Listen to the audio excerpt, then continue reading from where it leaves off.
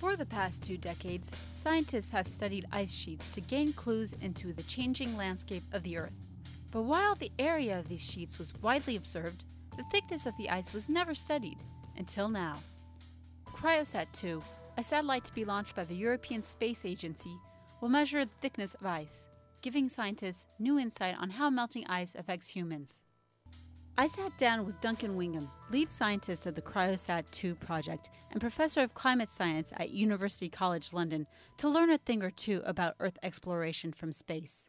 Well, we, we have seen in the last decade uh, enormous changes in ice masses on our planet, both in the northern hemisphere and in the southern hemisphere. And we don't really know why those changes are occurring, and we don't really know what the implications for the rest of us those changes in the, in the poles of our planet are.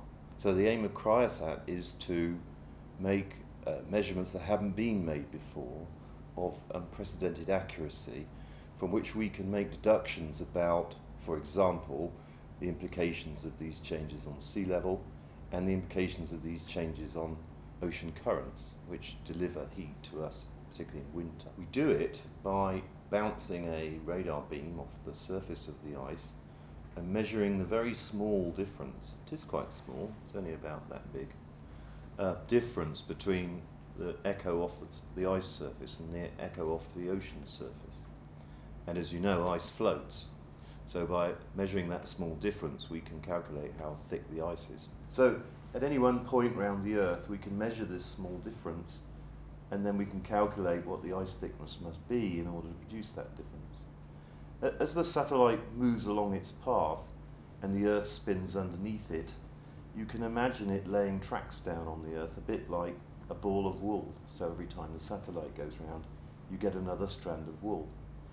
And every month or so, if we average the picture across all those strands, we get a snapshot, as it were, of what the ice is doing in the Arctic that month.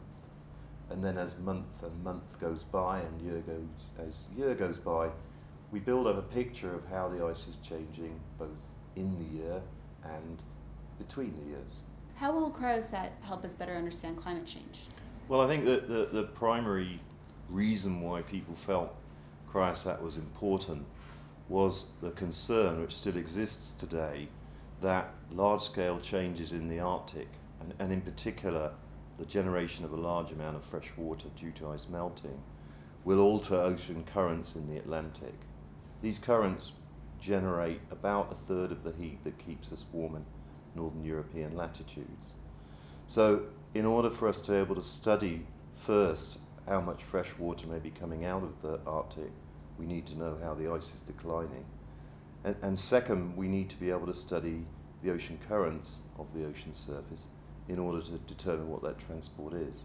There's been a lot of doubt surrounding climate change science recently. How will information coming from Cryosat uh, be perceived by the general public? Well, it's really no surprise, I think, now that we are seeing the growth of climate skepticism because the impact of warming the atmosphere is being felt on every aspect of life today, whether one is talking about building, whether one's talking about transport, whether one's talking about food production or energy production. And no doubt this now touches on moneyed and political interests. And so climate has become a political question because it bears on very significant sums of money and difficult negotiations between nation states. So, so in a sense, that it's now mainstream debate in, in the media and everywhere else is no surprise at all. And it's a measure of the enormous contribution that climate science has made that, that we are at that point. Of course, people tend to view science with suspicion because, largely because it's something they don't understand. But science itself isn't something that can be brushed away. And simply ignoring it isn't going to make it go away. Sooner or later, the effects of this climate change are going to become so obvious to everybody that there will be nothing left to discuss. The only pity is that when this happens, the damage will be so large that there'll be little we can do about it. Now, the launch has been in the works for uh, several years now. There was a, a, failed attempt in 2005. What has happened since then? Cryosat at the moment has, has cost because, because we had a failure. We, we effectively have two missions now, and I guess it's going to end up at a bill like 250 million euros. Um, that sounds a lot, of course, and in some ways it is a lot, but one has to compare the cost of knowing what's going to happen with the cost of not knowing what's going to happen. And if one looks at, for example, the implications of the Stern report, one can see that the cost of not doing things is about a hundred or a thousand times larger than the cost of doing things.